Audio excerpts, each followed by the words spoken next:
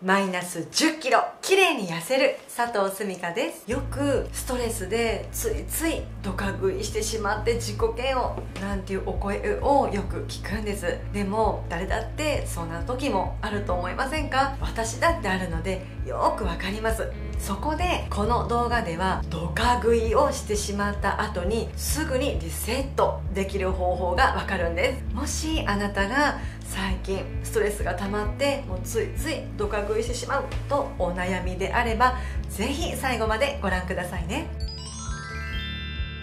今回のテーマはこちら。ドカ食いをリセットするダイエット法についてお伝えしていきます。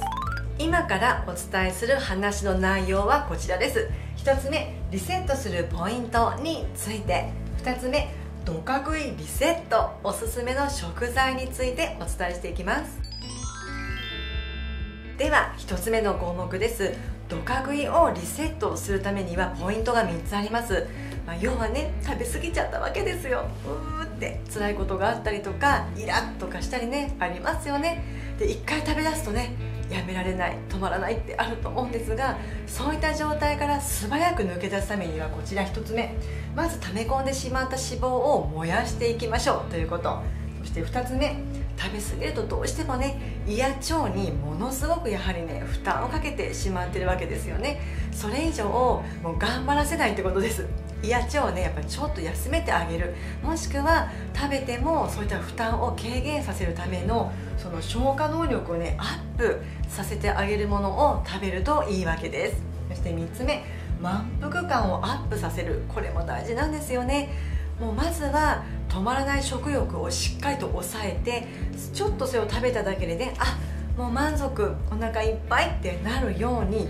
ご自分でねコントロールできる食材がありますから以上のこのポイント123をしっかりと備えた食材をどか食いした後に召し上がることでしっかりとなかったことにねしていきましょうねというお話になるんですね。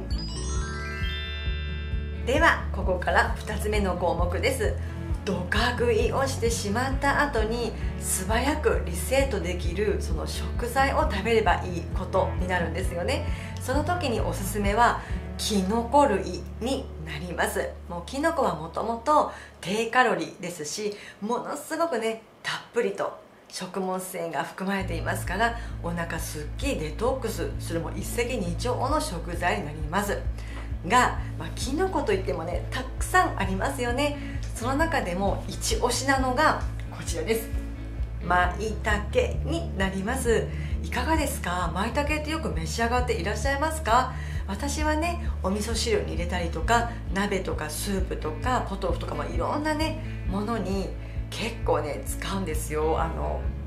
ちょっとじゃあ副菜でね小松菜と、まあ、きのことか、まあ、そういったのによく使います。なのできのこ、まあ、全部全般いいんですけれどもドカ食いの後になぜおすすめかというその理由がこちらなんですよね。まずいろいろきのこある中で脂肪燃焼効果が高いのが舞茸になります。でしかもですね舞茸を食べるとあなたの体温がですね上がるんです。そうすると体温がねもうほんと1度上がっただけでものすごく基礎代謝量が上がるんですよね。ですから一生懸命運動したりとか食事制限頑張ったりするよりもまずはあなたの体温をですね上げてあげることができたらそれだけでね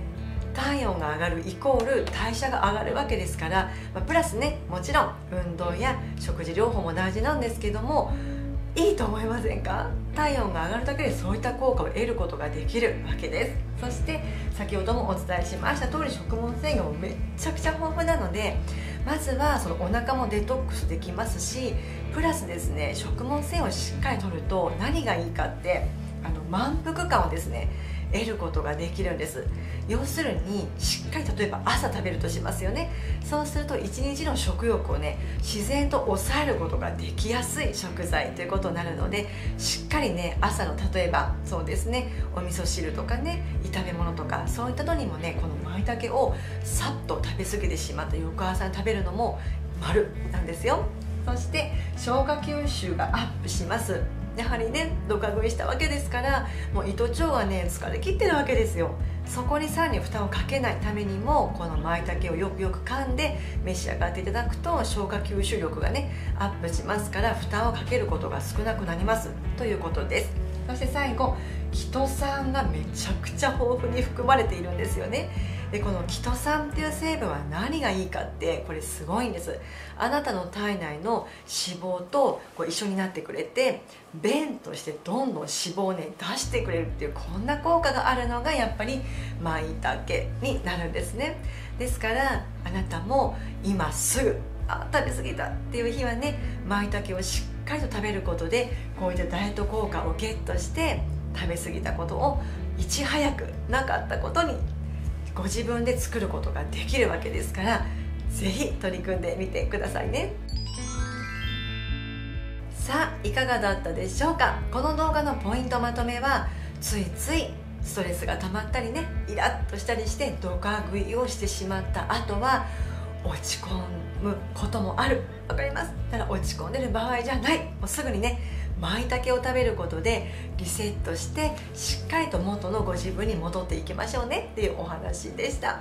簡単にできますからぜひね日頃の食事に舞茸をプラスしてみてくださいね。舞茸だけをこうバターで炒めるとかそういったのでもいいと思うんですよ。ちょっとレンチンしてポン酢かけるとかね。もう簡単ですからぜひすぐに取り組んでみてくださいね。この動画のお話は以上になります。役に立ったなと思っていただけましたらいいねボタンやチャンネル登録していただきますととっても嬉しいです。それでは次回の動画でお会いしましょう。